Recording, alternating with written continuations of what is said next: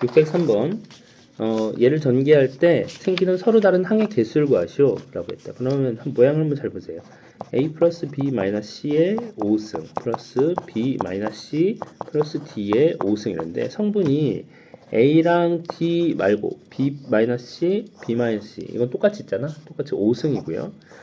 우리가 지금 이런 그, 그 뭐지 항의 제곱 형태일 경우에는요.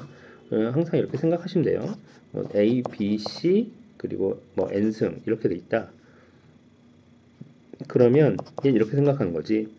A의 P승, 뭐 B의 Q승, C의 R승 이런 식으로 모든 항이 나오고 그리고 이게 P 플러스 Q 플러스 R은 N 이렇게 귀결되잖아요. 그죠? 그래서 요거는 중복 조합을 쓰는 게 좋겠다. 이렇게 생각하시면 되겠어요. 중복 조합을 뭐라고 했죠? 정해진 n개의 수에서 r개만큼을 뽑는 거야. 음, 정해진 n개에서 r개만큼을 뽑는 거다. 그럼 얘는 어떻게 하겠어요? 정해진 n개에서 어, 3개에서 지금 여기서는 5개를 뽑는 거죠. H, O 뭐 이런 식으로 하면 되겠다.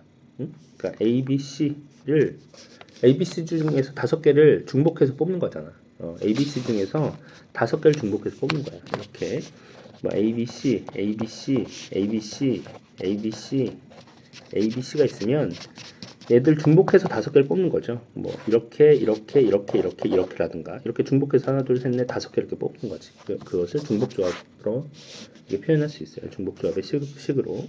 중복조합의 식은 생각보다 계산하기가 어렵지 않아요. 그러니까 얘랑 얘 더해서 1을 빼는 게 이쪽에 오는 거야. 그러면 3, 5 더해서 1 빼면 7이죠. H5 이렇게 나오는데 보통 얘랑 얘 사이가 1이나 2 정도 차이가 나요. 많이 많이 차이가 안 나. 계산이 그렇게 해보면.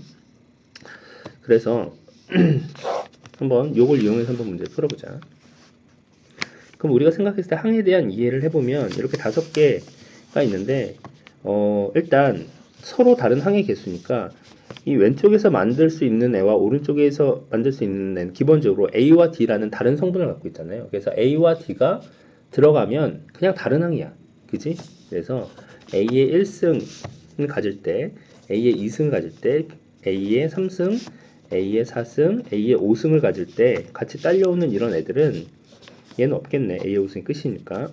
이건 그냥 다른 항인 거죠. 마찬가지로 D의 경우도 D의 1승, 2승, 3승, 4승, 5승일 때 딸려오는 애들은 그냥 다른 애지. 중복되는 애들은 뭐가 있을까요?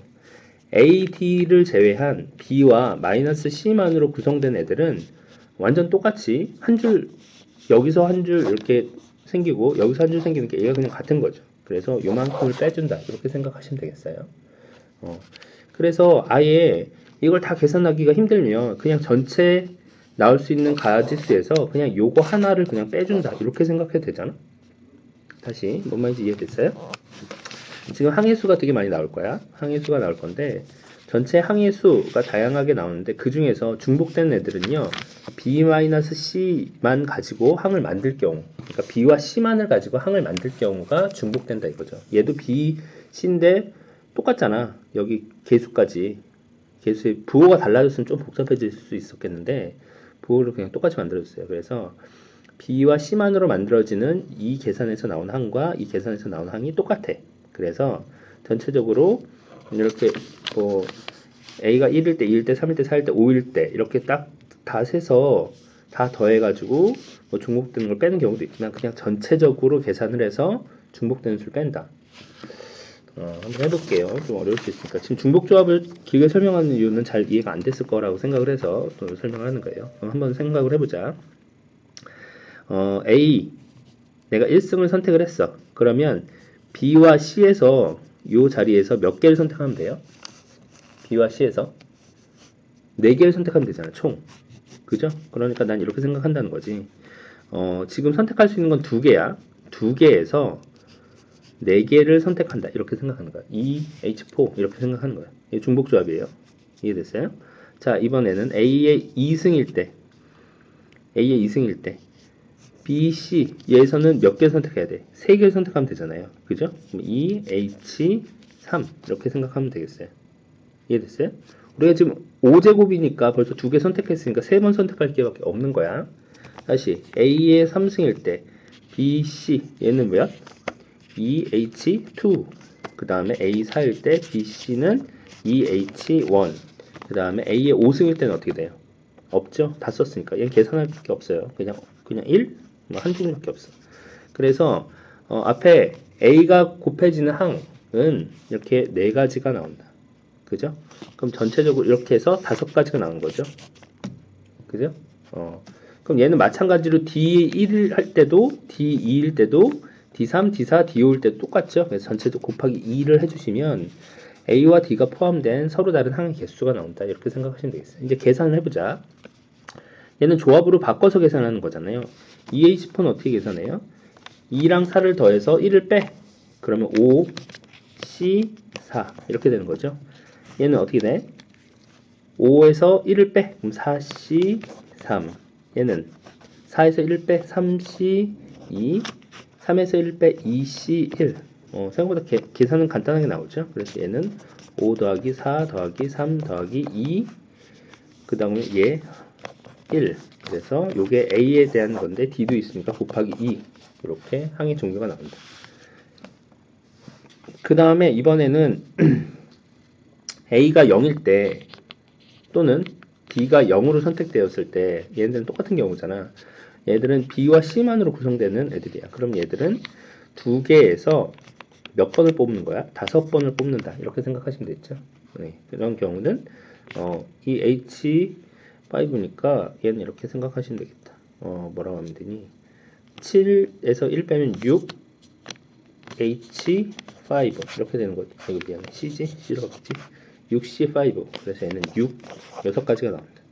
근데 얘는 중복되는 거니까 한 번만 계산하면 되는 거예요. 그래서 요 다 계산한 식에다가 그냥 6을 더하면 서로 다른 항의 개수가 나온다. 이렇게 하시면 되겠어요. 그래서 얘 몇이니?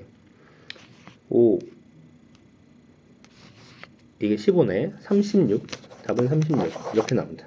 그러니까 이렇게 하는 거 이렇게 경우의 수를 따져서 할 수도 있고요. 이게 첫눈에 다 이해가 됐으면 아예 처음부터 이렇게 하면 되지. 아 그냥 a 플러스 b 마이너스 c의 5 그럼 얘 전체 항의 개수를 구하시면 돼요. 전체 항의 개수. 전체 항의 개수 어떻게 구하면 될까? 전체 항의 개수는 세 3에서 h 다섯 번을 뽑는다. 그냥 이렇게 하면 되잖아. 그죠? 더하기 이번엔 b 마이너스 c 플러스 d의 5 그럼 얘도 마찬가지로 3에서 다섯 번을 뽑는다. 이렇게 계산하면 되잖아요. 이제 이게 좀 중복 조합 이해돼요?